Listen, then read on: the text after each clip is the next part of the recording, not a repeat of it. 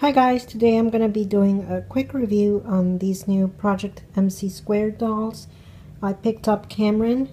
She's got red hair and tannish skin, light brown eyes and pink lips. And it's based on a Netflix show, so they don't really have artwork. They have actresses that play their characters. And this is the girl who plays Camryn. I haven't watched it yet, so I don't have an opinion about that. But I think it's cool that they have, you know, these girls who don't look like generic Barbie doll types. This is the back of her box and uh, a little introduction to her. You can see she's not into frilly clothes. She likes uh, garage sales, toolboxes. She seems to be a very um, hands-on type. And one of the cool things about these dolls is that they are not enforcing any stereotypes. They are basically telling girls you can do whatever you want. You can be however you want to be. Telling them that they are smart, that they don't have to be boys in order to be scientists. Basically, you know, girl power. Here is the doll itself. You can see she has inset eyes. They're very high quality. She also has the uh, applied eyelashes as you can see and their face molds are extremely cute that was one of the things that called out to me her outfit is pretty simple she's got these really actually pretty cool shoes on that I really like. And then she's got these purple pants and this shirt, which actually I think would be cool if it had some artwork on the front, but it's okay if it doesn't. And then of course she comes with this little beanie hat, which matches this one. And um, my first complaint about these dolls is this weird little creepy thing over here.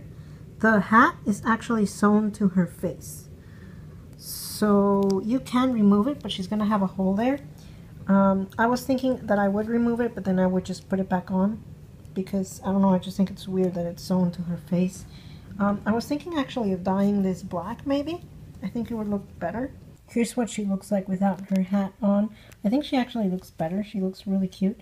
And um, here's her hat. She is very well rooted.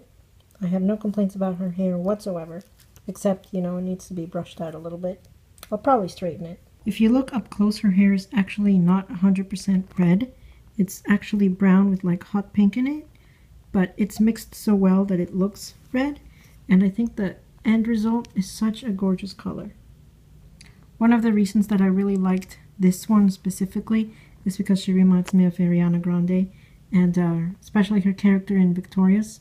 So that's probably how I'm going to try to style her.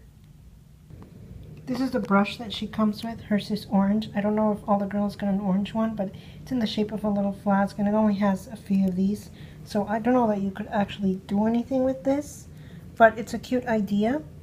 And um, she doesn't come with a stand. This is the $15 budget doll, which I actually think should maybe go more towards the $10, $9.99 range because um, she doesn't have any articulation, so she's like the really cheap basic Barbies. But she does do this, and she's not that like fake silicone material. She's all completely plastic. She does do that. She goes up to here.